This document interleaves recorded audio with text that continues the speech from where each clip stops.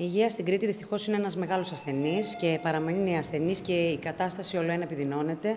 Ε, λίγο πριν την καρατόμηση του Βενιζελίου νοσοκομείου ήμουν εδώ, ε, τότε που ο κόσμος ε, και, και, οι ιατροί φώναζαν και ανησυχούσαν ε, για την κατάσταση αυτή του Βενιζελίου. Μιλάμε ανοιχτά, τα προβλήματα είναι υπαρκτά. Ε, η πρόσβαση των πολιτών στη δημόσια υγεία είναι για μας πολύ σημαντική. Το Πασόκ είναι εδώ, ε, διεκδικούμε και απαιτούμε. Σήμερα ένα κλιμάκιο του Πασόκ με τους βουλευτές του νομού Ηρακλείου επισκεφθήκαμε το Βενιζέλιο νοσοκομείο και να ενημερωθούμε για τα προβλήματα τα οποία υπάρχουν. Το Πασόκ εδώ και αρκετό καιρό έχει βάλει εχμή τα προβλήματα, τα μεγάλα στην υγεία. Εκείνο το οποίο διαπιστώσαμε είναι ότι η υγεία είναι σε κατάρρευση. Θεωρούμε ότι κάποια μέτρα που πήγαν να πάνε για το Βενιζέλιο νοσοκομείο είναι μέτρα τα οποία δεν δίνουν λύση, απλά παρατείνουν το πρόβλημα για δύο μήνες, το πάμε παρακάτω. Είναι πολιτική επιλογή της κυβέρνησης η υποβάθμιση του δημόσιου συστήματος υγείας και υπό αυτή την έννοια και τις συνθήκες αυτές το ΠΑΣΟΚ θα αντιταχθεί σε αυτήν την πολιτική η οποία ουσιαστικά οδηγεί στην υποβάθμιση και εν τέλει στην ιδιωτικοποίηση του δημοσίου συστήματος υγείας.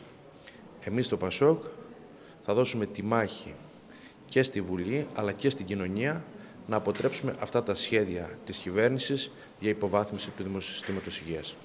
Κλιμάκιο του ΠΑΣΟΚ σήμερα με βουλευτές, μέλη της Νομαρχιακής και της Κεντρικής Επιτροπής επισκέπτεται τα δύο μεγάλα νοσοκομεία της Κρήτης, τα δύο μεγάλα νοσοκομεία του νομού μας. Ξεκινάμε από το Βενιζέλιο και έπεται το Πανεπιστημιακό Νοσοκομείο. Ακούσαμε όλους τους ε, τομείς, τους ιατρικούς τομείς, ακούσαμε το προσωπικό του νοσοκομείου και την ε, διοίκηση, την προσωρινή διοίκηση του νοσοκομείου. Αποτελεί ντροπή πλέον, ενώ το Βενιζέλιο εκπέμπει επί μήνες σήματα κινδύνου, η πολιτεία να μην ακούει και να μην λύνει τα άμεσα προβλήματα που έχουν ανακύψει. Βεβαίως, αυτό που συμβαίνει στο Βενιζέλιο νοσοκομείο είναι η κορυφή του παγόβουνου μια συνολικής υποβάθμισης και απαξίωσης του Εθνικού Συστήματος Υγείας. Το ΠΑΣΟΚ, οι βουλευτές, συνολικά όλος ο κόσμος και όλη η κοινωνία της Κρήτης βρίσκεται δίπλα στο ιατρικό προσωπικό, στο νοσηλευτικό προσωπικό των ε, νοσοκομιακών ιδρυμάτων, έτσι ώστε να επανέλθει μια φυσιολογική λειτουργία στο σύστημα υγείας, να πάρθουν μεγάλες πρωτοβουλίες για να αλλάξει ρότα αυτό το σύστημα το οποίο προσφέρει απρόσκοπτα εδώ και 40 χρόνια ε, δωρεάν υπηρεσίες υγείας στους πολίτες. Σε αυτή την προσπάθεια ξεκινάμε σήμερα ένα οδηπορικό για την υγεία από τα μεγάλα νοσοκομεία. Θα, ακολουθήσει, θα ακολουθήσουν επισκέψεις μας στα κέντρα υγείας και θα καταθέσουμε τις απόψεις μας.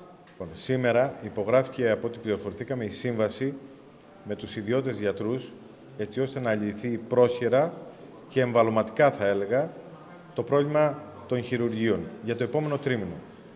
Όπως ενημερωθήκαμε και όπως βεβαίως γνωρίζαμε εκ των προτέρων, μετά από αυτό το τρίμηνο δεν γνωρίζουμε το μέλλον.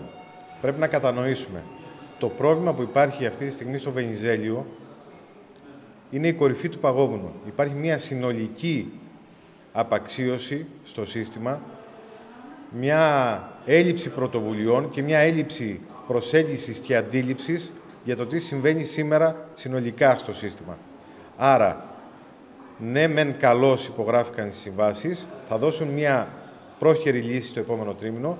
Από εκεί και πέρα το συνολικό πρόβλημα που είναι πολύ βαθύ και αφορά και τα μισολογικά ζητήματα των ιατρών, αλλά και τις συνθήκες εργασίας μέσα στο ε, σύστημα υγείας, αυτά είναι ζητήματα που ε, άπτονται μιας πολύ μεγάλης πρωτοβουλίας που πρέπει να πάρθει και η οποία θα πρέπει να είναι μια πρωτοβουλία που θα είναι κοινωνός και η κοινωνία, προφανώς, και συνολικά το πολιτικό σύστημα, έτσι ώστε να κάνουμε ένα νέο restart στο ΕΣΥ.